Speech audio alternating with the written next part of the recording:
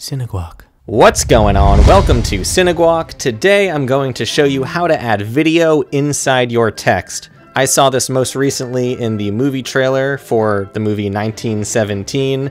It looks really awesome, it's a cool effect, and today I'm going to show you how to do that, so let's go! Alright, so here we are in Premiere. Now the first thing you want to do is drag the video that you want seen within your text onto your timeline.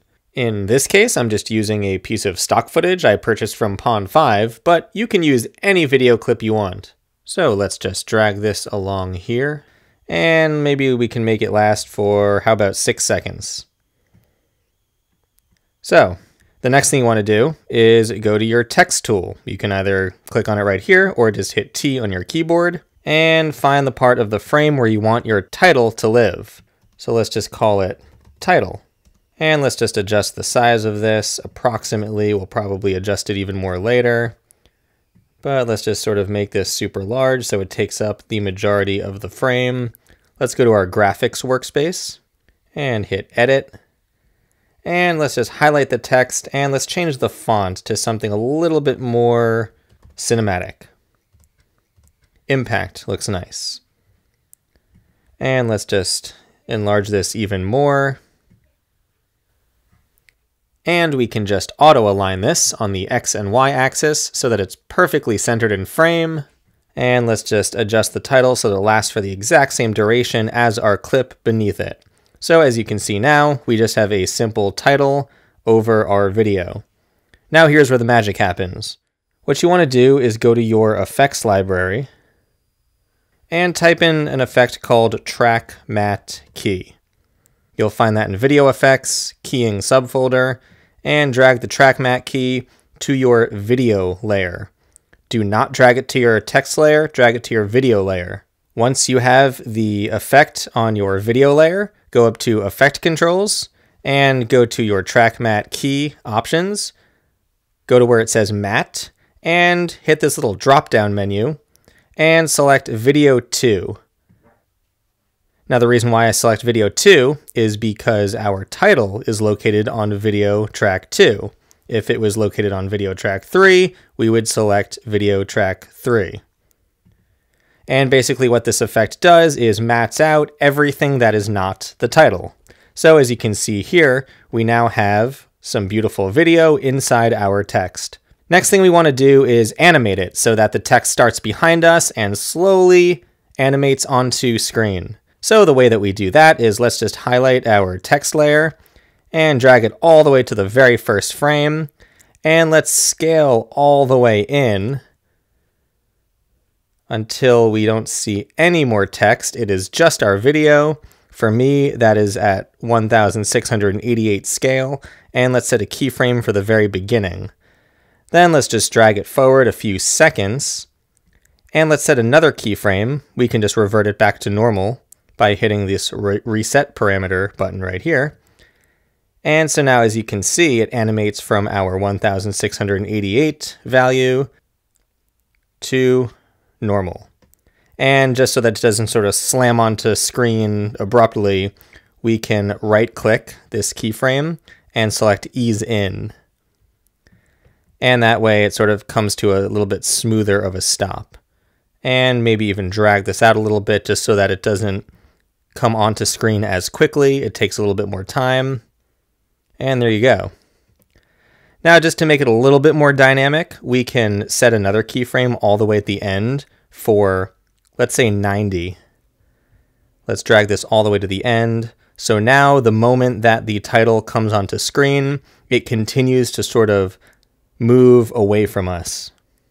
Now we could end it there, that looks pretty good, but I think it would be a little bit more interesting and a little bit more like the 1917 movie trailer if we slowly cross dissolve to a nice color gradient. So we'll dissolve from our footage to a nice four color gradient. So the way that we do that is let's just go to our project window and let's click on new item, color matte, and we can make this any color that we want. I'm going to make it purple because it's on brand. Purple. And let's drag the purple color matte onto the timeline. Now let's find our halfway point. at about three seconds to be exact. And let's just overwrite this right there. So now halfway through our clip, it cuts from our video to our color matte. And let's just drag this in so that it matches the exact same duration of our title. Then what we want to do is drag the exact same track matte key effect that we put onto our video layer onto our color matte. So let's just go back to effect.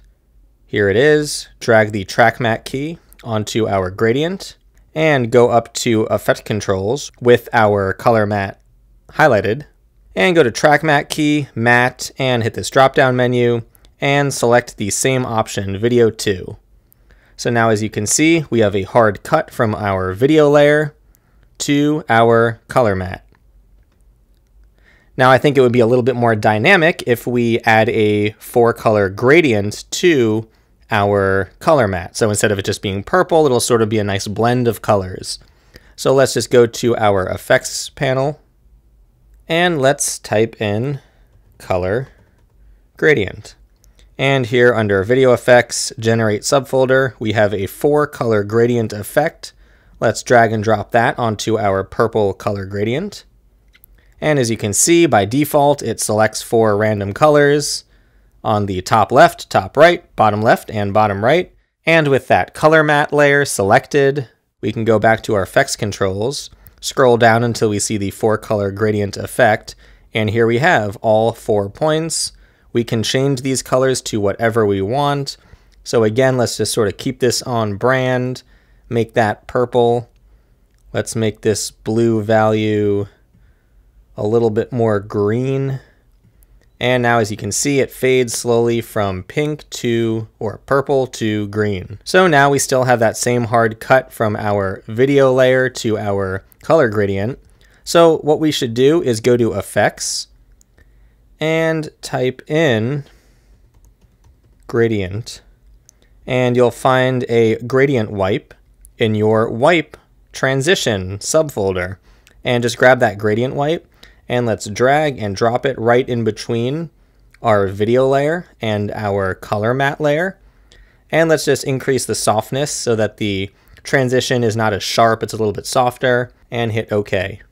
Now we can just zoom in here and let's extend the duration of this transition effect. So it's a little bit longer, a little bit smoother.